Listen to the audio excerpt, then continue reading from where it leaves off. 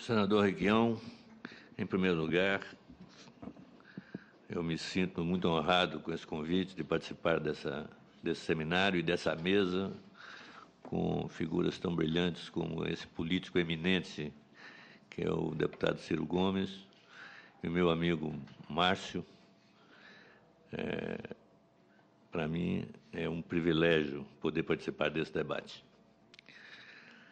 É, eu acredito que foi naquele seminário histórico que o senhor promoveu lá em, em no Paraná, Curitiba. Curitiba, logo depois da crise, quer dizer, alguns meses depois da crise, que na minha fala eu dizia que eu vi essa crise como não a maior desde a Grande Depressão dos anos 30, mas a maior de todos os tempos no capitalismo.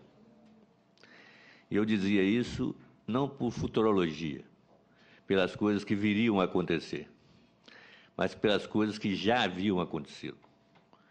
Né? Essa crise, desde o seu início, ao contrário da crise da Grande Depressão, afetou diretamente o coração do sistema capitalista, que é o sistema bancário. Nos anos 30, não quebrou um único grande banco americano. Não quebrou nenhuma grande corporação americana.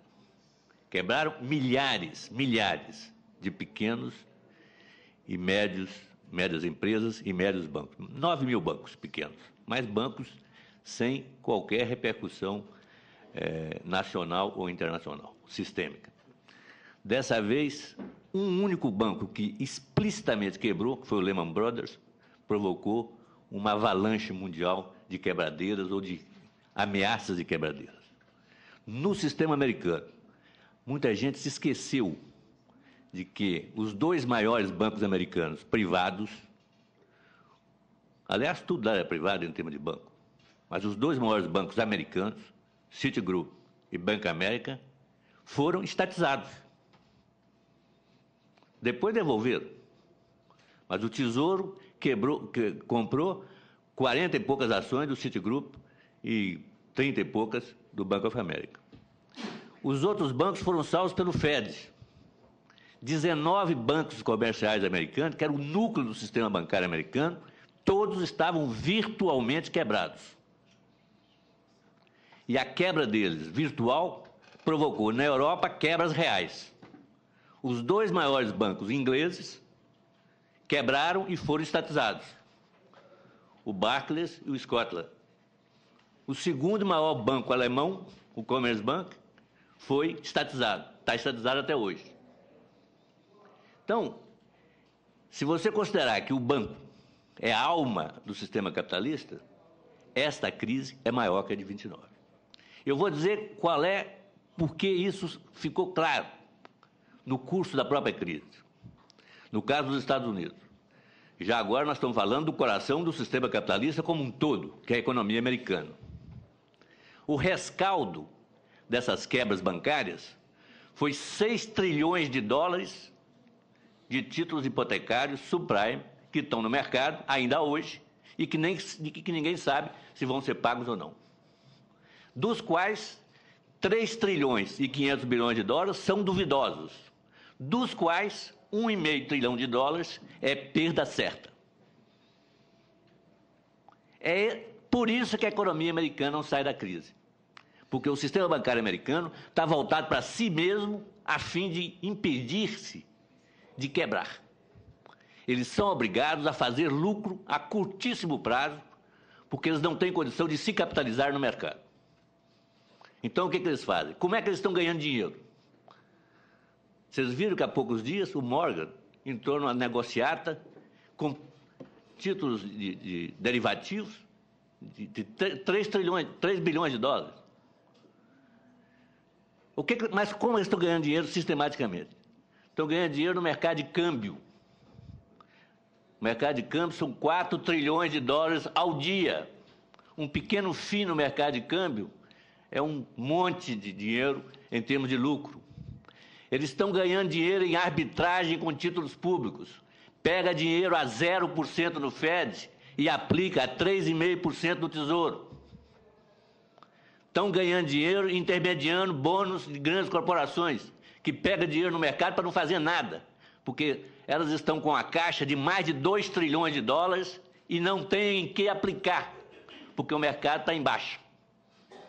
Não vão investir para as prateleiras. Essa é a configuração americana. E a configuração europeia? A europeia, o, o desequilíbrio europeu começa muito antes dessa crise. Começa com a Alemanha se tornando grandemente superavitária em relação ao resto dos países europeus e os outros deficitários em relação à Alemanha. Mais ou menos 200 bilhões de dólares por ano. A Alemanha em cima do resto da Europa. Quando chega a crise, tem uma crise de pagamento privada, não tem nada a ver com o Estado. Não tem nada a ver com irresponsabilidade fiscal. Isso pode ter alguma coisa a ver com os gregos, não com os outros. Virou fiscal por quê? Porque o, a crise privada obrigou os estados a socorrerem os bancos. Virou uma crise fiscal. Bom, e essa situação está preservada até hoje. Essa configuração crítica inédita no mundo, ela começou a ser enfrentada de uma forma muito interessante. Não tinha, como o Márcio disse, você não tem, você não tem um hegemon para organizar o mundo. Não tem hegemon. Os Estados Unidos não podem mais ordenar a economia mundial, tal como ordenaram metade da economia mundial no pós-guerra, com influência na outra metade. Então, você tem que criar um corpo de governança mundial. E esse corpo apareceu, né, com um primado da necessidade. Esse corpo é o G20. O G20 é um escalonamento de países que representam 90% da população mundial e 90% da economia mundial. E, dá, e 20 pessoas dá para sentar em torno de uma mesa, conversar e chegar à conclusão. Não é a ONU, com 200. Não vai ser nunca a ONU. Vai ser alguma coisa tipo G20. As três primeiras reuniões de G20, se vocês pegarem os comunicados finais, vocês vão ver o seguinte: oito a nove vezes em cada uma dessas, desses comunicados está mencionada a palavra cooperação. Vamos cooperar. E cooperar em sentido de quê? Cooperar no sentido de políticas de expansão fiscal a reunião de Washington, reunião de Londres, reunião de Pittsburgh. Esse foi o consenso do G20. Aí vem 2010, primeiro semestre de 2010, reunião do G20 em Toronto, Canadá. Dissensão alemã. Tinha mudado a política inglesa. O Cameron ganha do Brown. Os trabalhistas perderam entre os conservadores. Sarkozy na França. Esse trio impôs uma mudança de rumo dramática à política europeia. Não era mais política de estímulo fiscal, mas política de austeridade fiscal. Com isso, uma recuperação débil que já vinha ocorrendo na Europa e também nos Estados Unidos, caiu de novo em recessão a partir de decisões políticas. Por isso, há pouco tempo, eu estava conversando com um grande economista americano, James Galbert. Eu estava dizendo, ele estava fazendo uma entrevista no Rio, até promovida pelo, pelo senador Requião, foi, né? E eu estava dizendo para ele o seguinte: o que, que você acha mais grave? É a crise ou a política que está sendo usada para combater a crise? E, indiscutivelmente, o grande problema é a política usada na Europa para combater a crise. Por que Europa? Porque você tem o trio dos países industrializados avançados. Depois eu entro nos emergentes. Mas esse trio é Estados Unidos, Europa e Japão. É, são os negócios entre eles, é o comércio entre eles que puxa a economia mundial. Pelo menos assim era até há pouco.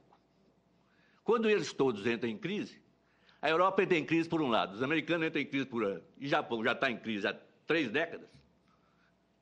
Não tem como puxar a economia. essa situação leva a quê? O que, que é, em trocando em miúdos, uma política de austeridade fiscal? Porque as pessoas pensam assim, não, vamos ser, tem que fazer uma política de austeridade fiscal. Imagina o governo não fazer austeridade fiscal. É, isso faz parte do fetiche da terminologia que se usa para enganar os trouxas.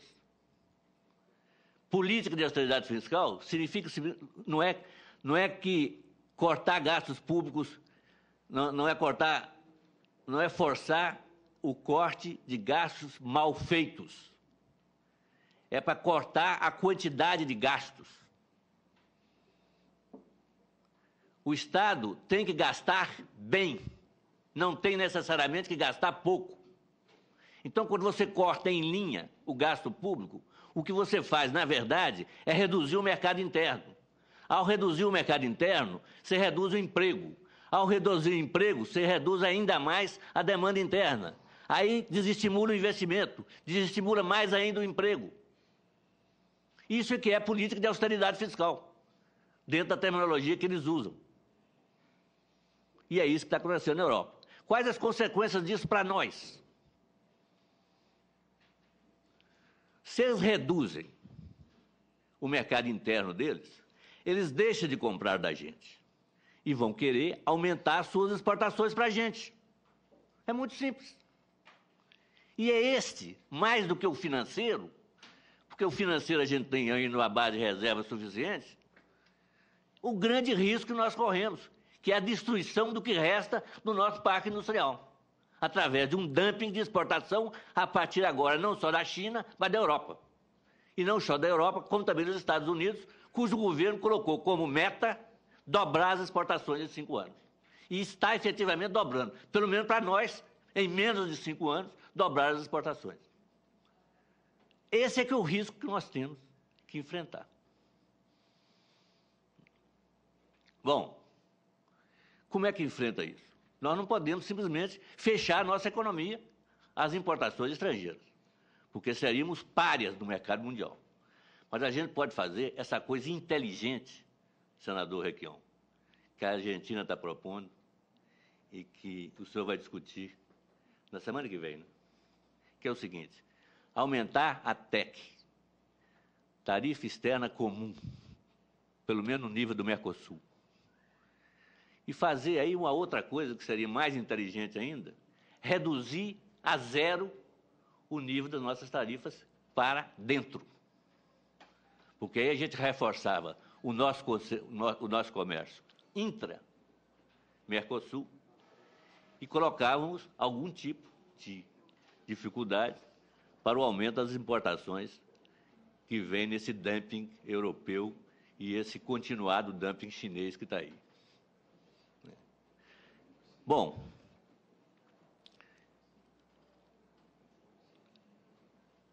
isso significa o seguinte: a nossa saída é aprofundar o processo de integração da América do Sul. Esse é, é o nosso caminho. É claro que tem dificuldades para isso. Tem três países que mais ou menos escaparam do processo de integração atra através de tratado de livre comércio com os Estados Unidos, que é o Chile, Colômbia e Peru. Mas a gente está fazendo um truque através de um projeto de lei que está sendo, que foi iniciativa, inclusive, do Intersul, e que está tendo curso aqui no, no Parlasul, que é a gente criar um estímulo forte aos investimentos produtivos na região da América do Sul. E fazer aquilo que o Márcio disse, dizer, deixar de ser simplesmente, no âmbito do Mercosul, um acordo comercial superficial, que não entra para dentro das economias, e tornar realmente integração produtiva, integração econômica fazer o que a Europa fez.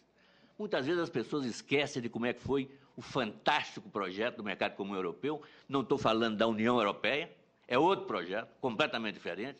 Um era o marco social-democrata, o outro é o marco do neoliberalismo. Mas o, o, o projeto espetacular europeu surge com a integração da indústria do carvão e do aço. Quer dizer, indústria básica e indústria energética. Algo desse tipo é que a gente teria que tentar aqui na América do Sul. E isso aí é infenso aos tratados de livre comércio com os Estados Unidos. Eu acredito que se a gente tiver né, algum tipo de programa, planejamento, estratégia de integração, em que né, as empresas produtivas da região possam se integrar, efetivamente através de mecanismos de subsídio, de incentivo. Né. O problema comercial, né, a, o, o, fato de ter tratado de livre comércio com os Estados Unidos não chega, não chega a ser tão importante, porque eles não terão como participar desse programa de investimentos produtivos. Porque a gente poderia criar obrigações para esse tipo de projeto, inclusive a obrigação de você qualificar a mão de obra local nos projetos de integração produtiva, que é o que a gente está propondo também. Né? Bem, eu queria encerrar fazendo um comentário mais amplo em termos de perspectivas globais. Né?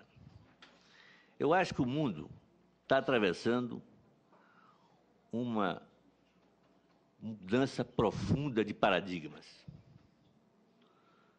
Eu não digo que o capitalismo vai acabar, mas eu estou tentado a dizer que o neoliberalismo ou o capitalismo neoliberal vai acabar. Por quê? Porque nós estamos inexoravelmente em vários campos caminhando para algo que é o oposto do que foi o paradigma central da Idade Moderna, que era a ideia da liberdade individual ilimitada. Nós estamos caminhando para a ideia da cooperação inexoravelmente, em vários campos. No campo da economia está claro, como eu disse antes, vai ter que ser alguma forma de cooperação no nível do G20. Já começou, inclusive, a reverter essa reversão da política alemã. Na reunião do G8, que é um núcleo do G20, né, já foi absorvida a ideia de Hollande, o novo presidente francês, de enfatizar o investimento em lugar de simplesmente austeridade fiscal. Eu acho que isso vai ter reflexo no corpo inteiro do G20. E eu acho mais ainda, quer dizer, dependendo do resultado da eleição americana de novembro e da eleição alemã do ano que vem, pode dar uma reversão total em direção de políticas cooperativas. Isso no plano da economia.